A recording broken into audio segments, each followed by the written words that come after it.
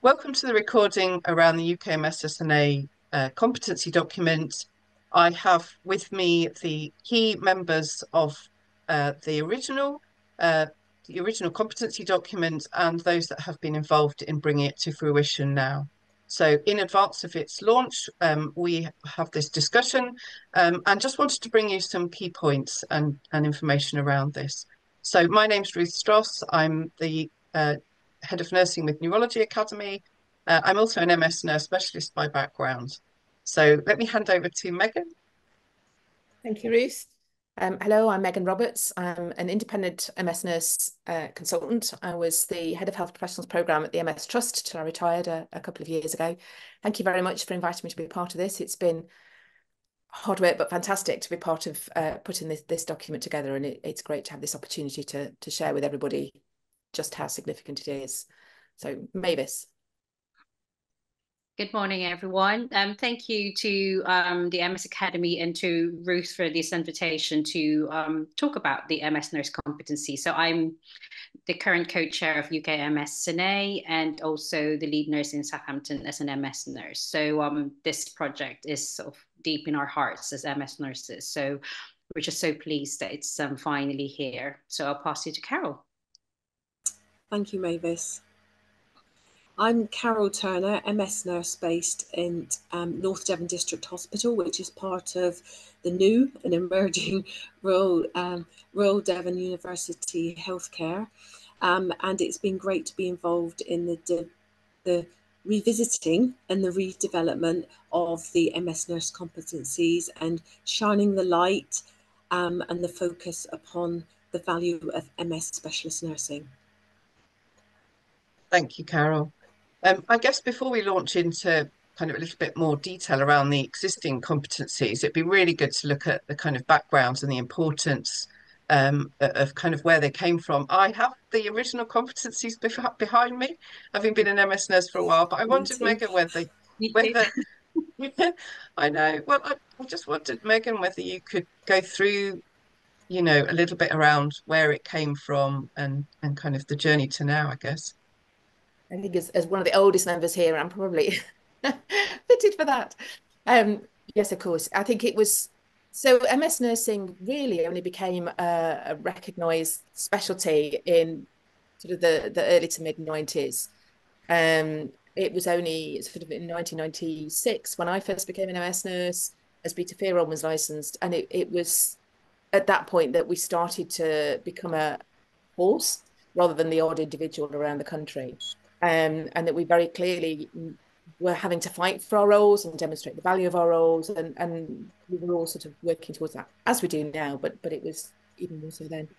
And it was the original competencies were published in I think 2008, and Vicky Matthews, who's now retired, um, absolutely led on that and and sort of brought those together, and they were fantastic. They really made a big difference at the time.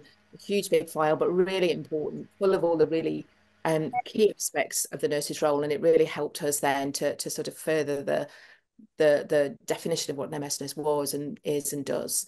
Um, and I think what happened then was that, of course, MS nursing evolves, treatment evolved, um, and sort of, sort of a decade later, we were really finding that the competencies that Vicky had put together, um, a lot of them were just not relevant anymore, just because treatment had moved on um, and the care that MS nurses were were expected to give had changed.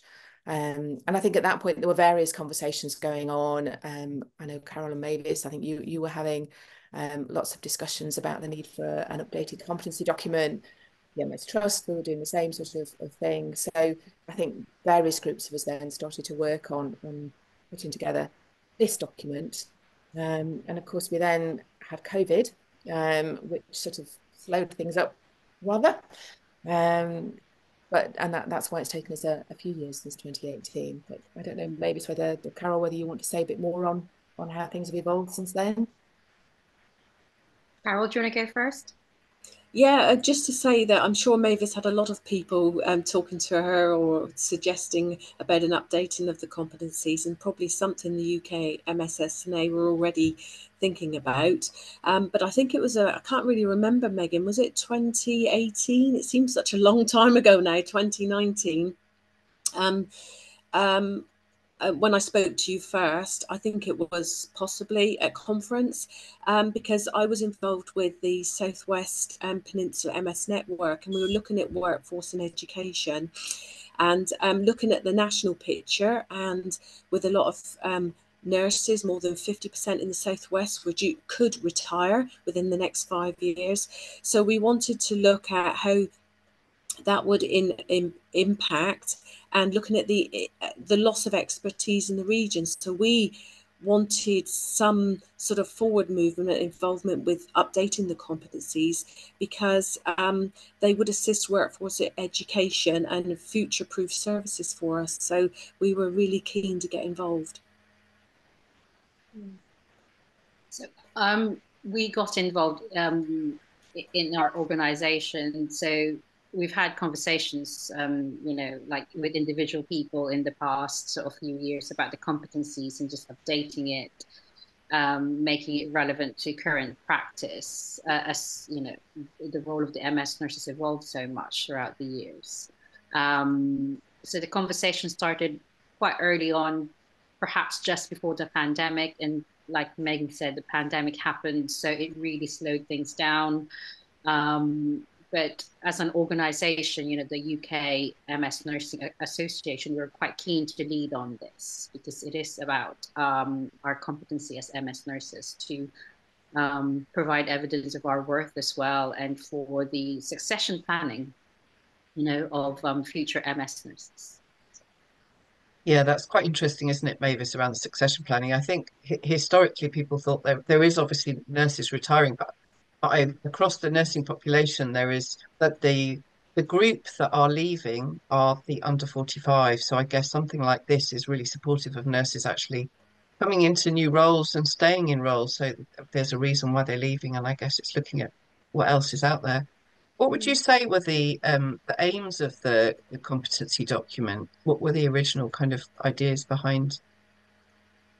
So perhaps if we have to narrow it down, is to equip existing and new nurses coming into the role um, in terms of what are their core competencies to be able to do the job well and safely for our patients. So perhaps that is the main aim. And then I think throughout the year, especially the last five, ten years, nurses are fighting for their for their roles, you know, for for education and I think specialist nurses in general, you know, it's it's very different from ward nursing, and we now have MS nurses coming into the role, coming from the wards, coming from from A and E, from uh, from intensive care, with with without prior no knowledge about multiple sclerosis. So we needed a document like a competency document to help guide them. Um, and I know we'll go through what you know the, the Benner method um, of competencies, but um, it, it's about trying to encourage nurses to come in into the role who might not think of specialist nursing, you know, um, in multiple sclerosis, and also working through the level of competencies, you know, from novice to expert. Um, we were quite keen not to put banding on the document because there's a, a, there's a huge variation of banding across the UK. Carol, you you've sort of mentioned before around this being a you know a great um, tool for career development. Yes, um, and feeding on really from what Mavis said that you know um, anyone considering a career in MS nursing, um, which was really where I was coming from at the time with the updating of the competencies, was that they would provide an individual with an insight into the role, and the fact that there are competencies is a great um, thing for a, a new nurse. Um, also, um, the expectation and career development opportunities that are available within a role. Again, highlighting the importance of the MS specialist role. Yeah, absolutely. And do you feel that it's important that this is, will this be available for the wider um, group or, or is it specifically for MS nurses? I, believe that this competency document can be used by anyone working in the field of MS. Um, it, it, it is a nurse-specific competency document, but anyone can use it as, as, a, as a foundation, um, um, being in the role of, you know, looking after uh, people with MS. So I don't know if Megan wants to add to that. Yeah, no, absolutely. I agree, Mavis. I think that um, it'll be, you know, it, it's key, for, obviously, for all MS nurses at all levels.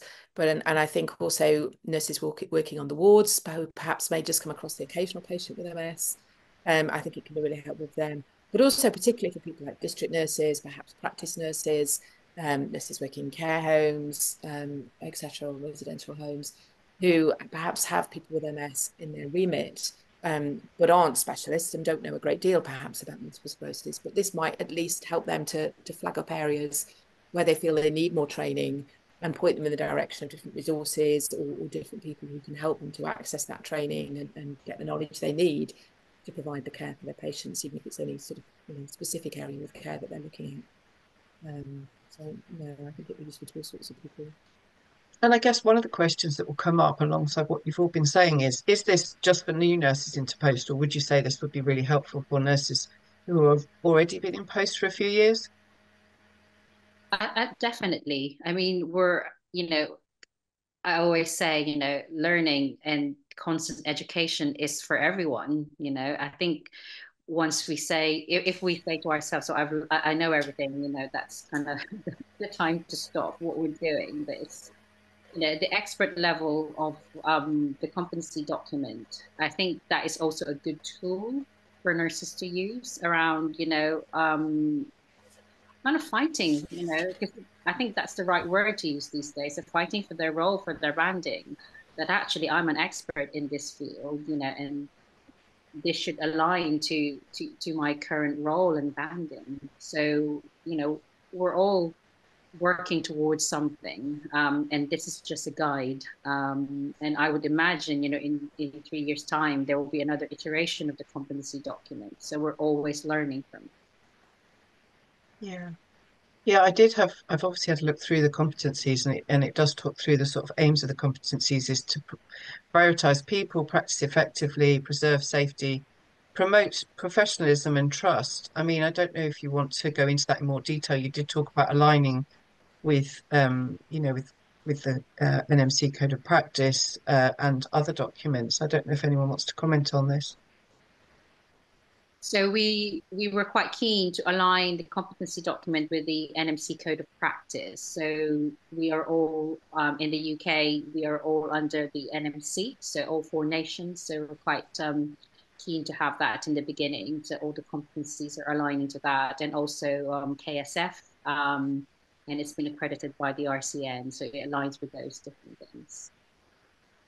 Yeah, absolutely. And I know we've talked a little bit around the background um, of, you know, where the kind of the journey to now. What Mavis um, and, and Carol, when you did, you know, take this up and start putting together, what was that? What was that like? Who was involved and Carol, do you want to go first?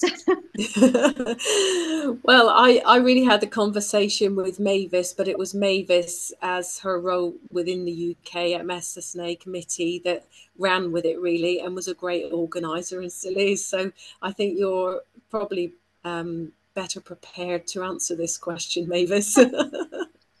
um, so as we mentioned earlier, the, the pandemic happened in, in between. So the, the, process, the conversation started, you know, between Megan, Carol, and the and the organization, and essentially we formed a core people um, to be involved in the creation of the competency, and then after that, we have divided, so to speak, um, what core parts of the competencies um, that we would write up. So this document has been written up by the committee members and the core group um, that we have created, the steering committee, so to speak, um, to make sure that all, again, the four nations um, have contributed to the, um, the document.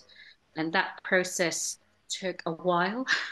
Um, there was a lot of going back and forth, you know, um, and, you know, there's a lot of emails, you know, as, as you would recall, Carol, chasing people, you know, the committee members, the core group, you know, during the pandemic, I don't think people appreciated appreciate this that you know nurses, you know, MS nurses were redeployed, you know, and um, most of the nurses there was no service for for some um, organizations. So you know, this project unfortunately had to take a back seat, um, you know, to, to maintain safety of you know um, patients that we were looking after.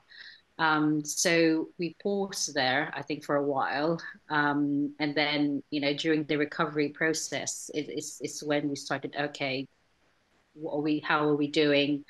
Can we just restart this again? Um, and we were fortunate enough to um, be granted funding um, to have um, a medical writer help us, which was a huge contribution to the document actually because I think at the end of the day, we are nurses. You know, we know what we're doing. You know, we're competent in our, our role, but actually putting things together, that's something that we need a, li- a little bit of help with. Um, so we were fortunate enough to secure funding for a medical writer to um, put things together. And then actually after that's happened, the process was I wouldn't say quick, um, but it, it, moved things along quite quickly. Um, and then we applied um, for accreditation um, from the RCN. And again, fortunate enough, you know, with minor revisions, I have to say. Um, so really minor revisions um, on the document. So after one revision, we resubmitted and it was accredited after that.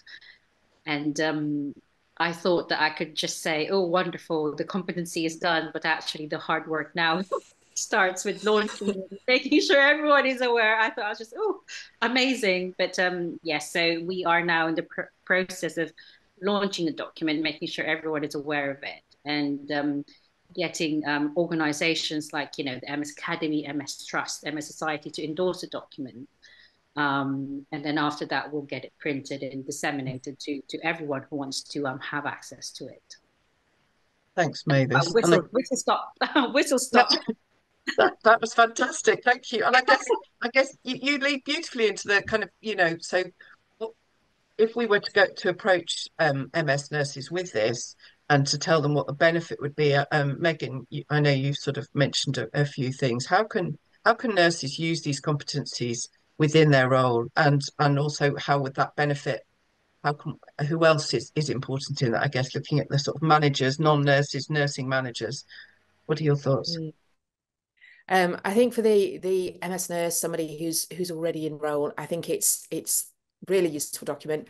I think you know when you get it as an MS nurse, I would sit down and have a look at, at what areas are, jump out at you as being most relevant at that moment, and perhaps start to have a think about you know where you might be on the the novice to expert scale on on some of the areas and where you know if you're a band six you might be novice in most things. If you're a band eight you might be expert in a few more things. Um, there are some um, suggestions at the back of the competencies as to how you can evidence um, where you are and where how you can sort of think yourself about you know benchmark yourself as to where you are on that novice to expert scale. So i think in terms of training uh, for your own personal sort of idea of what you need to train where your gaps in knowledge might be I think um, it's brilliant for evidence, for appraisals, um, that sort of thing. I think if you're making a case to be able to go on a study day, the the competencies are a fantastic resource for that. You can, you know, really demonstrate to your manager, look, I should be here. I need this knowledge to get there. This study day, give me that. Right? It's it's you know very difficult then for a manager to refuse that. Um, um, and I think if you're making a case for more support or you know um, more um, yeah more more support within your your either within your role or for more staff to more hours uh, of MS nursing then again it, it, it really helps you to build that business case. And I think for managers as well every MS nurse should send this straight to their manager whether their manager is a nurse or physio or somebody else. I've had um, excellent managers who were nurses but didn't know anything about MS and, and many people don't have a nurse as a manager um, but I think this is a really good way of saying to your manager, this is what we do. Um, you know, this is what an MS nurse is. This is, you know, why we're fighting for it. This is why it's important. This is the difference we make to patients. Um, because at the end of the day, that's what it's all about. Um, so I, I think it's really key. And then managers should be using it as, you know, when they're recruiting, it should be, that should be what they're, they're setting the, the person specification around. That should be how they're judging recruits um, who are coming in um, you know, it's a really useful tool for managers if they're using it properly and helps them to engage. Yeah, and I guess I know we mentioned already it's difficult to align with grading, but I guess it can help inform them a little bit. I think so. I think, as Mavis said earlier, it, it, it's you know, we, we have steered clear from saying you know, this is a band six, this is a band eight, because it's not that clear cut, it's not black and white. But definitely, I think again, it's about benchmarking. And mm. um, we, we were chatting earlier about examples of, of nurses who've come in as a band six and then been promoted to a band eight. And, you know, you would hope that if that's the case, that they're being judged against something like the competence against the competencies so that you know that they are competent to perform to band eight or, or whatever the scenario is. Um, and, and so I think it can be, again, a really important part of the, the um, evidence that somebody pre presents um, if they're making an appeal against their band eight. Okay, thanks, Megan. And so I, I, know that there are nine competencies. What areas do they cover and kind of how long do you envisage it takes? I know that it's a bit of a how long is a piece of string, but I guess to give an MS nurse an idea of, of kind of how much this will impact their workload and what they should be preparing for, what would you advise? Should I go? The, the um, so I think when um, you're right, it is a piece of string, and as Mavis said earlier, you probably never get to the end of it. You would you wouldn't expect to ever know everything. Um, so you know there will be, you know, I would not expect anybody really to be expert in every single competency, and and you know, each of the nine is divided into several other sort of components and aspects. Um, but I think if, if we're talking about uh, a brand new nurse coming into role as an MS nurse, um, certainly I would expect, or I would hope maybe not expect these days, but I would hope that they would be supernumerary for a period of ideally three months, but at least sort of six weeks to three months. And they can start to look at some of the, the key um, competencies there. They would need to sit down with their manager or whoever's supporting them in that role, come up with a training program based around the competencies, um, and then gradually transition from being completely supernumerary to, to taking on, um, you know, completely unsupervised. I think that that needs to be a transition period as well. So again, in an ideal world, I would say that would probably take about at least six months. It depends on on you know the MS nurses, the new MS nurses starting point, what experience they've had before. If they're coming from somewhere like ITU where they have had really no MS experience, then they might need longer. If they were perhaps a district nurse or, or something like that by background, they might need slightly less time. Um, and then it's just a matter of keep building on it. Then your, your appraisals, your training program, those discussions with your manager um, on a regular basis as to where your focus is next in terms of your training and developing your competence.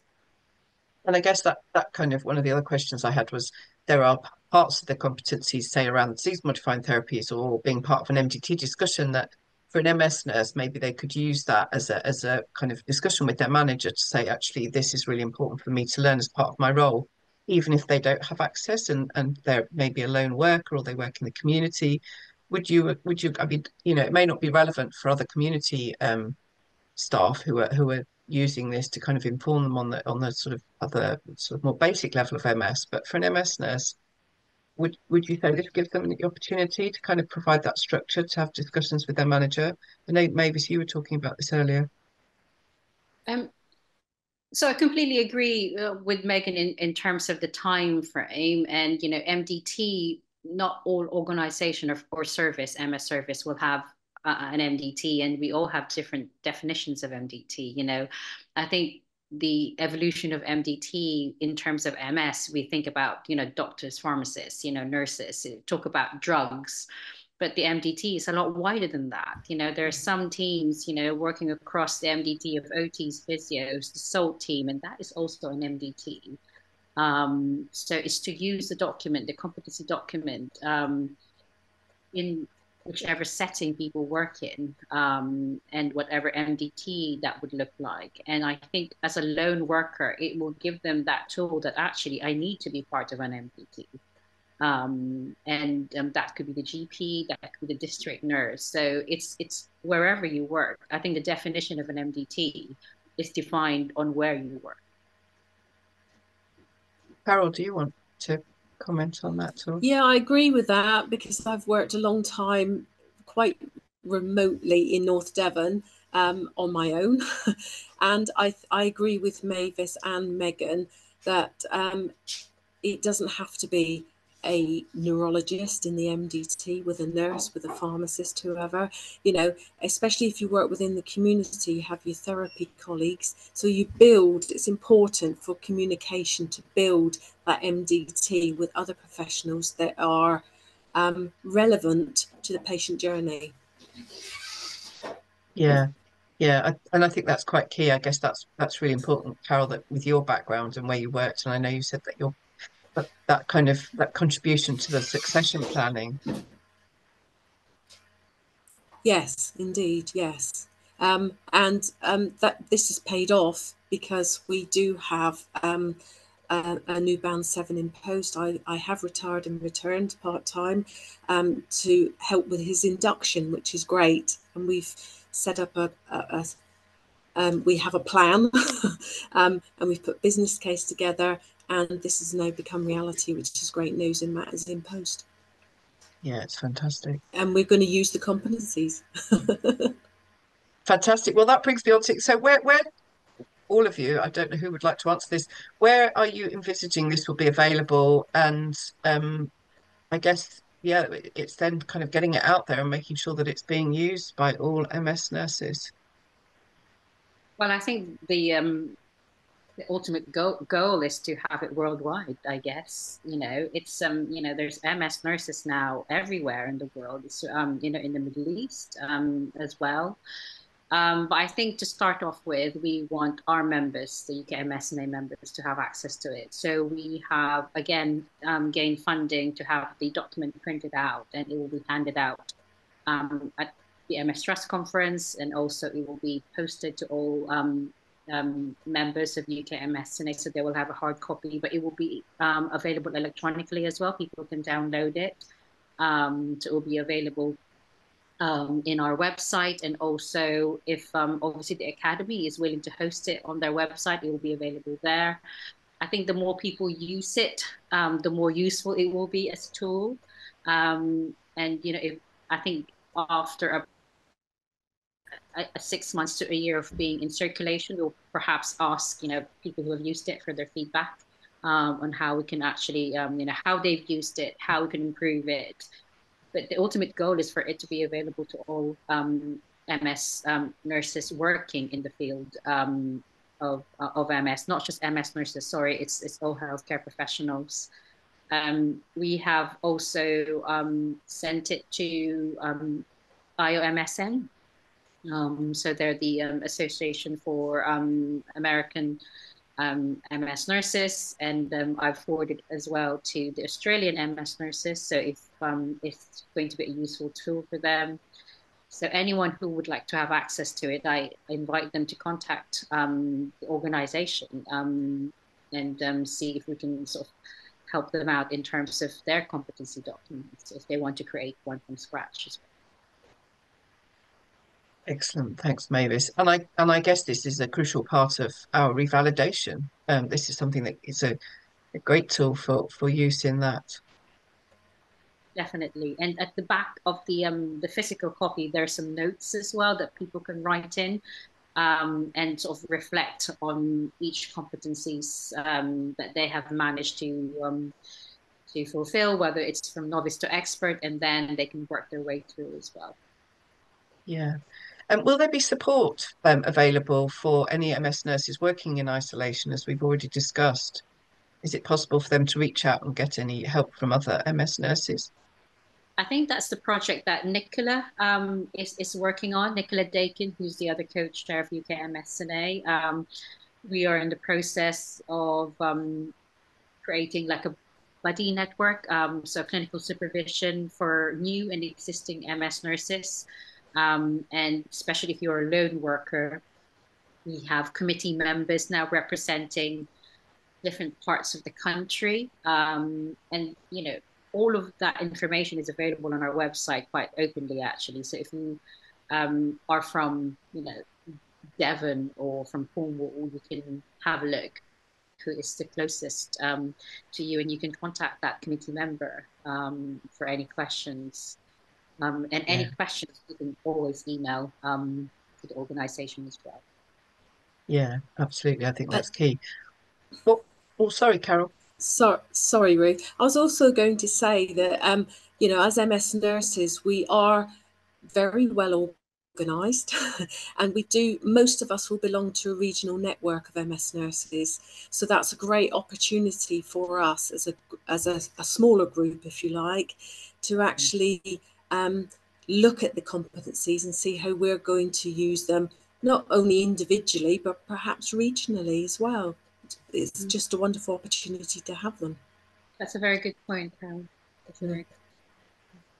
And what would you say the future? So, um, you you have already mentioned actually a lot of the future plans for for the uh, competency document, and I guess influencing wider than just MS nursing, um, and you know across across the world, so geographically as well. How how um, how kind of how often would you anticipate this document being updated? You mentioned about getting some feedback over the next year. Is there anything in, place already for reviewing this, Mavis? I think that's as I've mentioned earlier, the work really doesn't stop. um, so we really need to evaluate the document. You know, this um, I think the document is only valid and useful um, if you evaluate it. So we need to send out a, a survey, a questionnaire um, to any healthcare professional using the document. And perhaps if there are new developments in the field of MS, which there will always be inevitably, um, I would imagine the document itself will need to be revised every few years to make sure that it's in line with current practice, um, not just for nurses, but for, for everyone. And I think one thing that we have discussed offline um, within the committee um, and also with the co-chairs is how we can align and use the competencies um, to provide um, evidence for our worth as MS nurses. Um, so one of the plan, um, one of the plans is to perhaps survey uh, people with MS around the competency document, but that is a quite a um, um, plan in its infancy. Yeah, yeah. You you touch on a, a really important topic, isn't it? It's the value of uh, uh, value of a nurse in essence, and then the value that an MS nurse brings to the role. And I think that will be demonstrated through the competencies, um, and help us to be able to articulate that really well to to our managers. Um, just before we finish, I didn't know if there was any is there anyone you particularly want to thank, Mavis, or any kind of final comments from you? Um, well, definitely, Carol and Megan. Um, thank you very much for your patience and for my incessant emails. Um, and um, to the core people involved and the committee members of UKMSSNA um, who have all contributed to the, to the document. Um, to the MS Trust, MS Society, the MS Academy, to you, Ruth. You know, thank you very much. And I think, you know, everyone's dedication to improve um, the lives of people with MS around, you know, competency document is, is, is a part of that. Um, I would like to thank Janssen as well, who have they have provided funding for us um, in terms of medical writer and um, the printing of the document itself. Um, and you know, I'm not quite sure if Carol and Megan would like to, to add a few more people there, um, but we're just eternally grateful for the dedication, I think, of the MS nurses who have con contributed to the document. Carol, do you have any other, do you have anything else to add? Yeah, I, I think everyone Mavis has, has thanked, but also to Mavis for being so patient with us all as well, because I appreciate sometimes, especially during the quieter times throughout the pandemic period that things went really quiet and we were very slow in our response or, or immediately after the pandemic. Um, but also, um, you know, just our um, experience from our colleagues as well, you know, because I did talk about it with my Southwest colleagues about the competencies and, um, you know, they had some really useful ideas as well. So I think it's just everyone who has ever listened to me talking about the competencies. Thank you very much. yeah, I just like to, thank you. I, I, think I'd just like to echo both of you, and, and yes, thank you, obviously Mavis as well. I mean, it, it's this has been, you know, years in the making for very good reason. And I think it's a fantastic document. And I think so many people have been involved along the way. Um, but I think, you know, yourselves, you, you've all held this together and, and made this happen. And, you know, it's going to be so useful now, hopefully. And I think the, you know, the plans to keep this an alive document to constantly review and, and see how it can be improved and updated as, as the years go on, I think is really key to this. So just thank you to you all. I think this will make a big difference to, to MS nurses and ultimately to the care of people with MS, I think. Can yeah, I just say a special thank you to um, Patrick as well, who's our secretary um, for UK MSSNA. He's been, you know, instrumental in basically keeping everything together, um, especially during the pandemic, and you know, you know, chasing and also sending emails to the key um, stakeholders. So I'd like to say thank you to Patrick as well. Thanks, Mavis. And thank you three, Megan, Carol and Mavis. Thank you so much for joining me today. I think this is absolutely crucial and really important piece of work. And I just want to wish you every bit of luck with launching the competencies and getting this information out there. Thank you. Thank you very much, Ruth. Thank you, Megan. Thank you, Carol. Thank you.